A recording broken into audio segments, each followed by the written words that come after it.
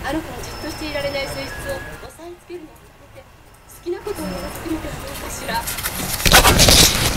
子はきっと素晴らしいお医者さんになりますよ。勇気と強い神経と優しい気持ちを持ってるし弱い者が苦しんでる者にはとても深い愛情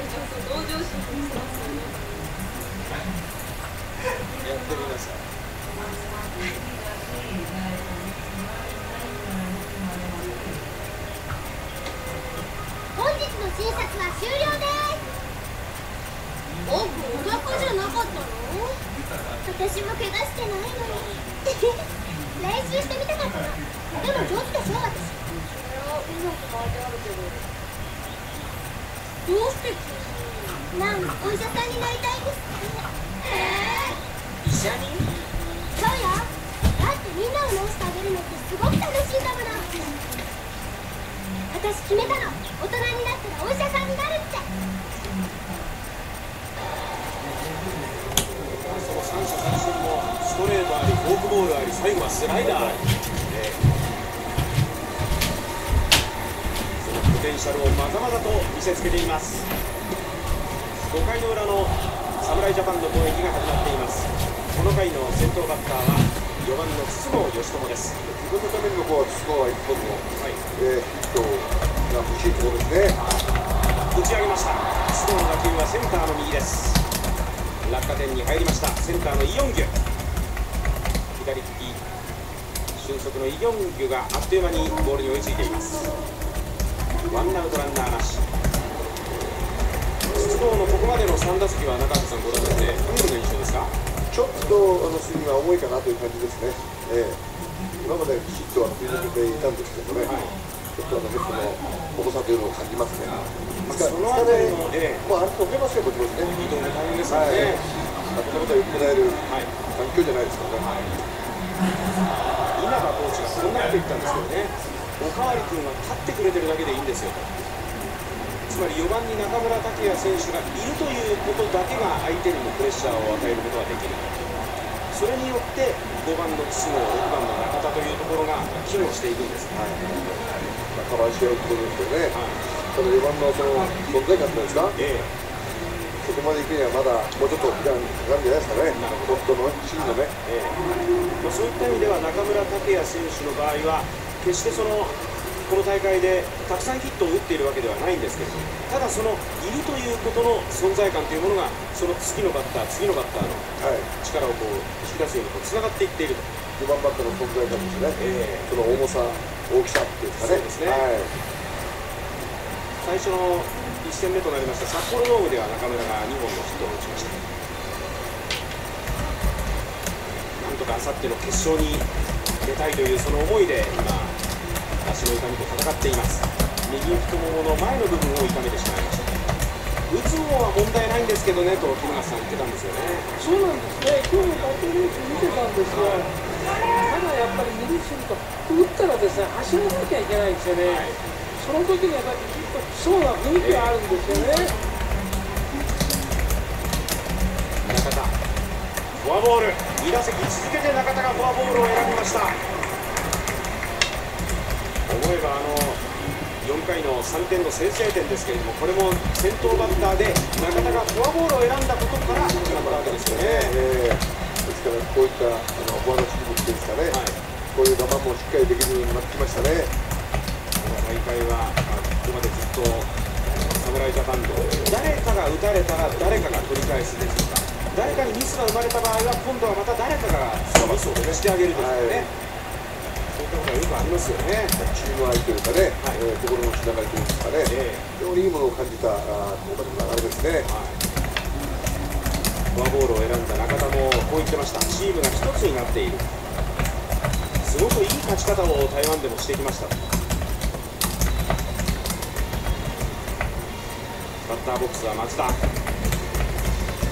ンアウトランナー一塁です。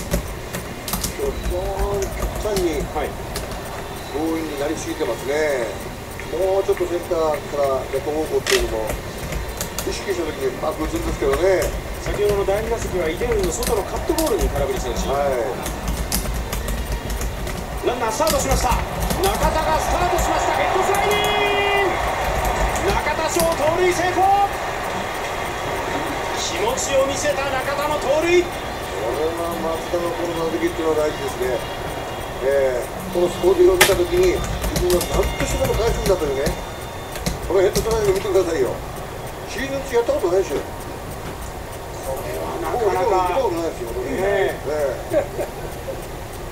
えいやーまたこの中田のワンプレーで侍ジャパンのベンチにまた火がついていくような、え特に今の打席の松田ですよ、えそれを感じないと、えはい。ランナー二塁となって。一番食らいついてね、そうですね、えー今のワンプレーを生かしていくというね、ええ。それがつながりですよね。はい、福岡で行われたプエルトリコとの強化試合で島が出塁してその島が二塁に盗塁を決めたんですよね。でそれによって1番の秋山が打撃が非常に楽になりました。秋山のヒットにつながったという場面がありましたランナー一塁ですとやっぱりこの進塁だとかそういった部分もたくさん考えなくてはならな。い残念。ここはインコースのストレートに見逃し三振に倒れています。チャウンチャン左ピッチャーのチャがここは中田さんいいところにボールを投げてきました。いいところですけど、最後はもう切ってね、はい。そういう形で三振するならまだいいですよね。松田らしくないですね。これが大きかったですよ、これ。中村今日2安打。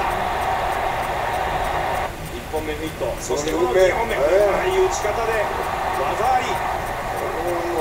ダメージ与えるに大きなはね、さすが3年連続3割の中村晃です。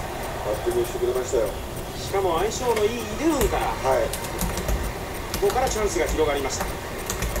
そして平田の先制タイムリーにつないでいった中村晃。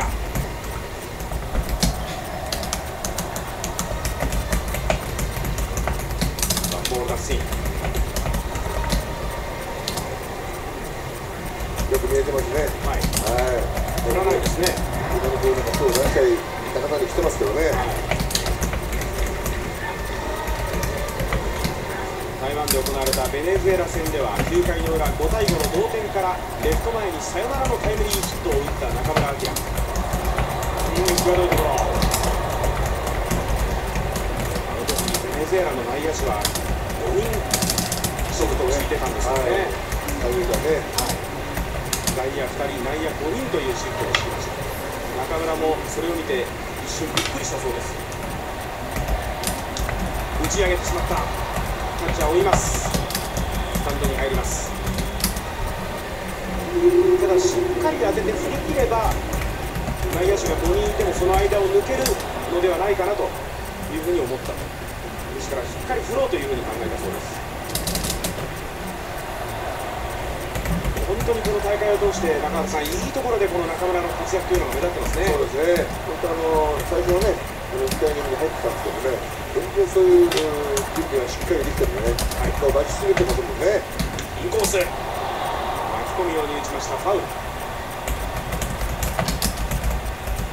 この試合でも先発のイデウンに対して苦しめてきた日本ですただその中でレギュラーシーズン11打数の6安打とイデウンを打ってきたこの中村が打線の中で1人気を吐いていった部分がありましたでこれ見したって言っても、もうじゃないぐらいの内容ですよ。そしてつながってチャンスを作ったところから平田のタイムリーへと結びつきましたこれもまた打線のつながりですよねだってそれ3本ですよ。3本と3本取ってるんですよ。今日ここまで3安打ですからね、